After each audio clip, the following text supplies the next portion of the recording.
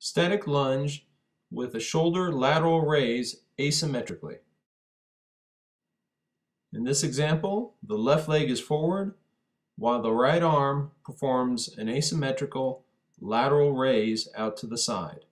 Arm raising up as the body goes up, arm going down as the body lowers.